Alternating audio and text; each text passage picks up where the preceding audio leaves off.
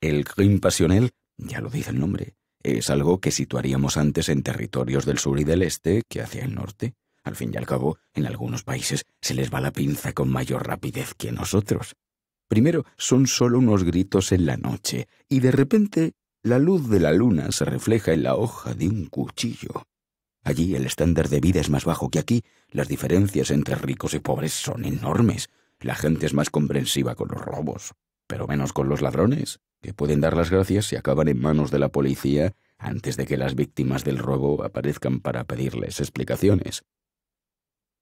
No es que yo esté libre de prejuicios, ni mucho menos, y eso que teniendo en cuenta mi cargo, debería estarlo. En todo caso, lo finjo bien. A estas alturas ya me he tomado una taza de té, o una cervecita, o algo más fuerte, con todos los grupos étnicos de la ciudad. Me he mecido al son de músicas que no me dicen nada. He comido platos de carne indeterminada con las manos. Y aún así, no estoy libre de prejuicios. Siempre los he tenido en alta estima. Mis prejuicios forman parte intrínseca de mí. O mejor dicho, sin esos prejuicios, yo sería una persona distinta. En primer lugar, miro a los extranjeros con la expresión suspicaz por naturaleza del granjero que ve entrar a un forastero en sus campos. ¿Vienen son de paz? ¿O debería soltarle los perros? Pero ahora ha ocurrido algo que lo ha dejado todo en el aire. Algo relacionado con mi esposa. Algo que tal vez tiene que ver con su país de origen, su tierra natal, más de lo que me gustaría. Con la debida cautela lo llamo su trasfondo cultural para no llevarme a los labios las palabras carácter nacional. Por ahora, al menos.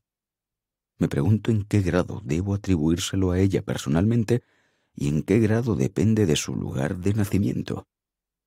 No sé si se puede separar una cosa de la otra, ni si seré capaz de hacerlo alguna vez.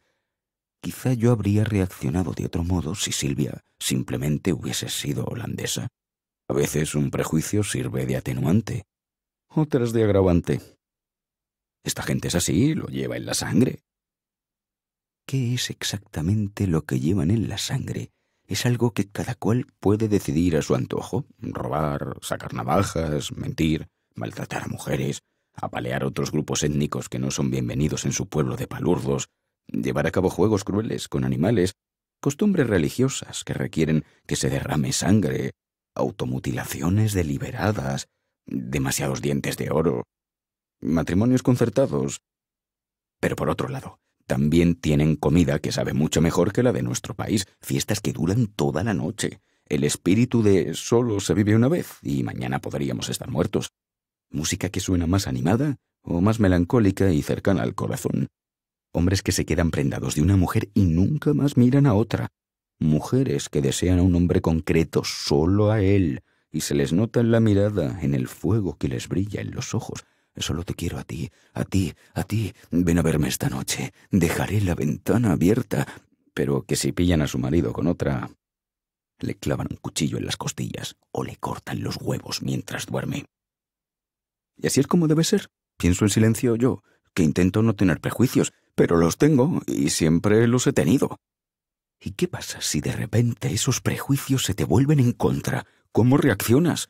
¿Cómo un holandés para el que mostrarse comprensivo con otros pueblos y culturas es un motivo de orgullo? ¿O con una reacción más típica del país natal, del carácter nacional del otro? Hasta ahora los he tenido siempre muy cerca. Noche tras noche he compartido cama con mis prejuicios. Pero ¿qué pasa si te despiertas a primera hora de la mañana y resulta que en el otro lado de la cama no ha dormido nadie. Todavía está oscuro.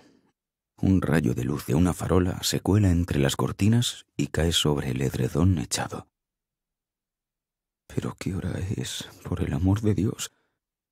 Ya hace mucho que debería haber vuelto.